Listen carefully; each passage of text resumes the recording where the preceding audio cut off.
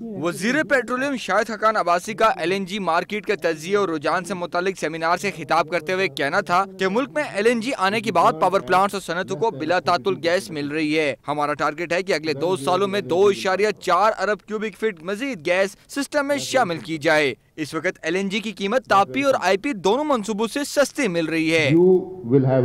پاکستان دنیا میں سستی ترین قیمت پر ایل این جی حاصل کر رہا ہے۔ ہمارے ہاں تنقید تو بہت کی جاتی ہے لیکن مثبت مشورے نہیں دیے جاتے۔ جلد ہی توانائی بحران پر بھی قابو پا لیں گے۔